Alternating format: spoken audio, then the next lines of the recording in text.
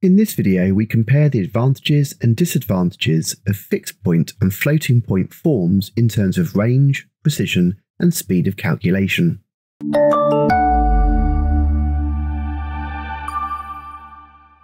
With the fixed point representation, the range depends on the position of the binary point. The more digits to the left of the binary point, the greater the range, but the lower the precision. And the precision obviously then depends again on the position of the binary point.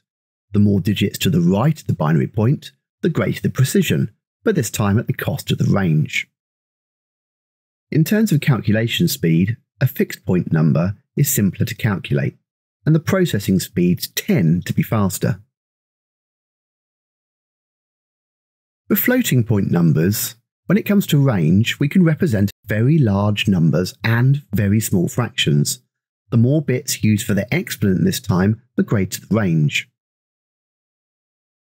We also have a much greater range of numbers when using the same number of bits when it comes to precision. The more bits we use the mantissa, the greater the possible precision. When it comes to calculating speeds, with floating point, the point first needs to be calculated and moved.